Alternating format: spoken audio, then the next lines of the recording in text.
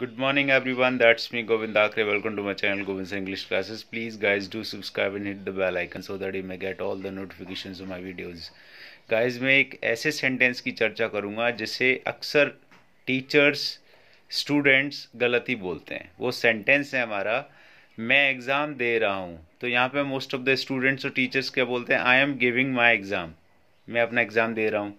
इस तरीके से नहीं गिफ्ट का यूज़ नहीं करना है। यहाँ पे आपको करना है यूज़ टेक का। अब मैं टेक के बारे में कुछ बताना चाहूँगा आपको। टेक शब्द, ऐसा शब्द है इंग्लिश का, जिसके 42 यूजेस है इंग्लिश में। 42 यूजेस जिसमें से एक यूज़ मैं आपको बताता हूँ। टेक जब एग्ज़ाम के पॉइंट ऑफ़ व्यू से यूज़ होता है तो ये ट्रांजिटिव वर्ब होता है। और ट्रांजिटिव वर्ब होता है तो इसका जो मतलब होता है, वो होता है to do an exam or a test to do an exam or a test take का मतलब ये होता है। जैसे example when did you take your driving test? When did you take your driving test? जैसे, I will take my test.